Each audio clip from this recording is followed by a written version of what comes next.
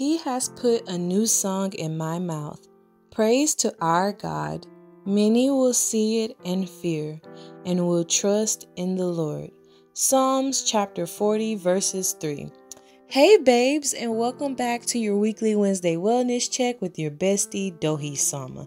And before we get started, I want you to take a deep breath and count down from 10 with me. You ready? 10, 9, 8, 7, 6, 5, 4, 3, 2, 1. All right. Our discussion for today is focused on the day at hand. Now, I am myself guilty of having really big projects or things that I want done by certain days, and I can get so caught up in, oh, I need to do this on today, so that way by tomorrow I can have that done. Then the next day I can have this done, and finally by that end day, everything's complete, everything's peaches and greens, right?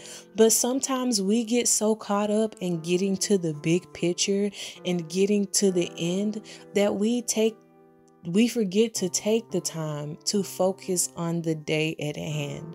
Today is a brand new day, a new day to try again. We have brand new mercies. We are renewed day by day. There's more grace for us today. There's more love for us that God is pouring on us that we can pour onto other people. It is a brand new opportunity, a clean slate to try again, to give it your best and don't be stressed. Today, Today is your day, and it should be a great day.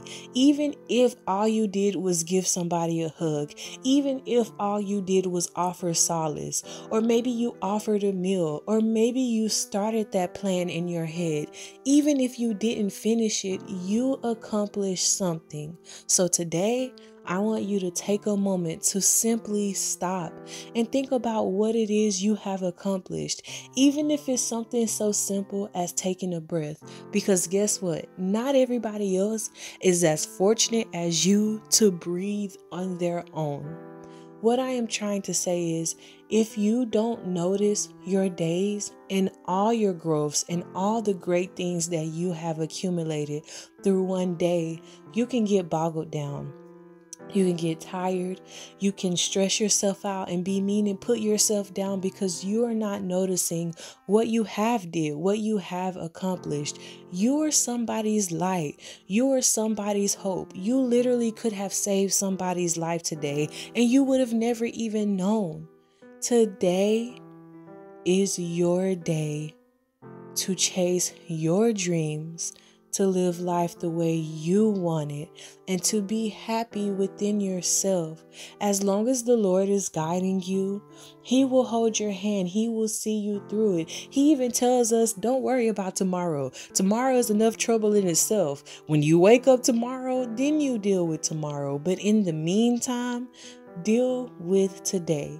And I just want to encourage you and say that I'm so proud of you for even making it to another day. If you got up if you got out the bed, I'm proud of you for even doing that. I know life can life. It can be hard. It can be rough out here, but you are doing so much better than you think. And I really want you to appreciate all of your growth, everything that you've poured into yourself, everything that you've accomplished. Everything matters when it comes to you in the eyes of the Lord. He sees you. He sees where you're at. He sees where you have come from. He sees your ending. So on today, Focus on what you can accomplish today. And what you can't accomplish today, don't worry about it. And yes, I know it can often be easier said than done. But trust me, friends, if you worry about things that are out of your control, all you're doing is making yourself feel down, feel sad, and feel heavy laden. Lay your burdens at the feet of the Father because He cares for us and He promised that if we put on His yoke, it would be easy to bear. And if we gave him our burdens, he would carry it for us. He would do the heavy lifting for us. So today, be happy with your day. Enjoy your day. Make memories for today. Spread love for today and keep joy in your day. On today, please remember we are not being stressed or pressed, okay? None of that. Please be gentle on your mental. You are doing so much better than you think. Please make sure to hydrate, to eat, and to get you some rest when you need it. Please don't be out here overworking yourself. It'll make my heart sad. As always, I am rooting for you. I believe for you. I am your cheerleader advocating for you on today. And I hope that you always, always remember that the Lord does love and bless you. May He keep you. I love you, and I hope whenever you view this, you have an incredible day or an amazing night. Goodbye, guys.